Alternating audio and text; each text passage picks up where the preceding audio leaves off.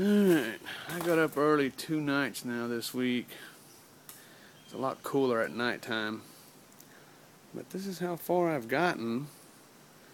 I went ahead and started use, utilizing all these flanges. I went to a scrap iron place and they had a bunch of it, but eh, it looks big, but I wanted it that tall because I wanted to be able to comfortably shake to use a shaker and the ash removal. Figured that'd be a lot easier.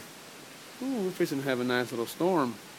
Anyway, there it is. And there's my shaker, which it works off of that down there. Uh-oh. We got a storm coming through. Anyway, uh, that's too close, isn't it? But anyway, here it is. All the way up. Again, I'm utilizing what I had. Just this is a real stainless stainless steel. It's a real thin wall. So I'm cooling. So remember in that cyclone I had a cooler. The, here are my two outlets.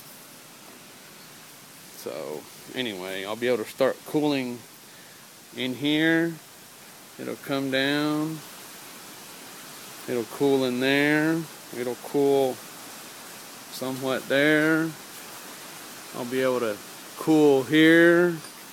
And then from this point, I am going to, there's my filter. Of course it stands it stands up.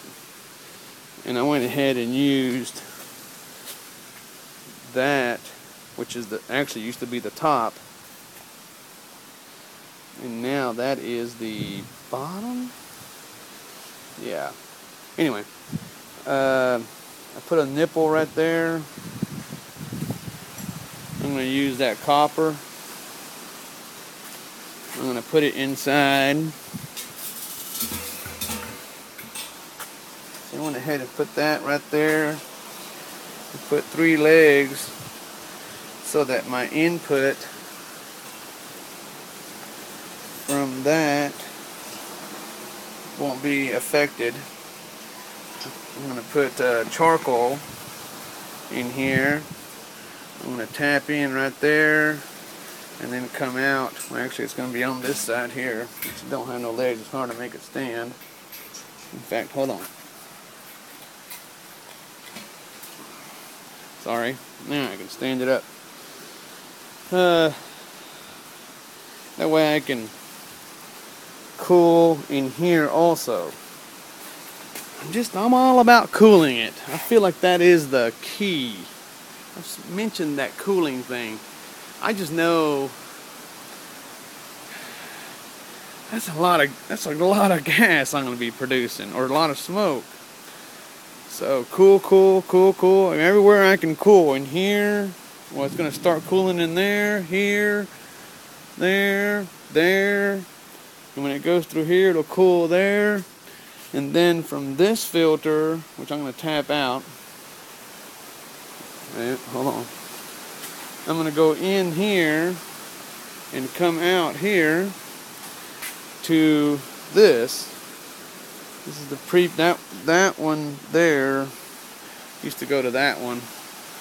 But anyway, I'm going to utilize that smaller filter. That's a second filter with no cooling. And then I'm going to use one more filter, probably half that size. I'm not sure how I'm going to do it yet, but anyway, I want to use it with the cotton. There, it's coming together. There's my intake of the air.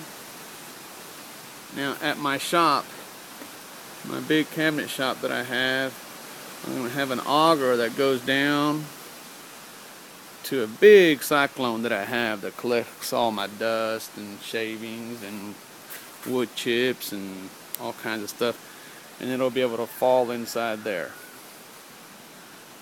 again, that's another day. But I put me some temperature gauges. I put one right there.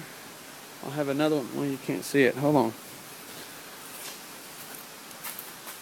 A little there and there, just to kind of keep track of the temperature. But there it is. Well, a bad shot. I'm getting there. It's uh again during the day I have to go to work, unfortunately, but that's just life. That's it for now.